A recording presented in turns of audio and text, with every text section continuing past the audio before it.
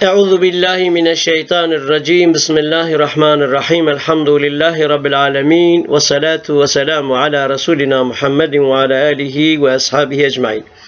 Esselamu aleyküm ve rahmetullahi ve berekatuh.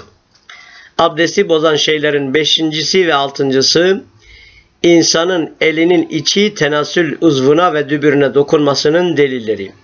Safvan bin Bısra radıyallahu anhadan Resulullah sallallahu aleyhi ve sellem Safvan kızı Büsra radıyallahu anhadan Resulullah sallallahu aleyhi ve sellem şöyle buyuruyor. Kim zekerine avret mahaline dokunursa abdest alsın. Diğer bir hadiste ise şöyledir. Sizden herhangi biriniz engelsiz olarak erkeklik organına dokunacak olursa abdest almak düşer. Amr bin Şuay babasında onun da onun da dedesinde şöyle dedi.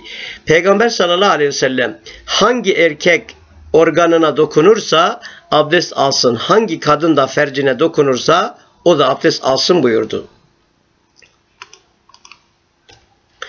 Başka bir hadiste ise Hazreti Ayşe radıyallahu anhadan rivayet edilen bir hadis-i şeriften Peygamber sallallahu aleyhi ve sellem şöyle buyurdu. Avret yerlerine dokunup da abdest almadan namaz kılanlara yazıklar olsun. Bu şekilde gelen hadis-i şerifler çoktur.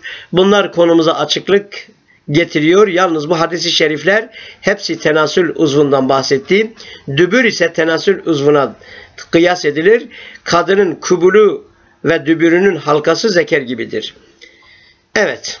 Ve sallallahu ala seyyidina Muhammedin nebiyyil ummiyi ve ala alihi ve ashabihi ecmain. Esselamu aleyküm ve rahmetullahi ve berekatuhu.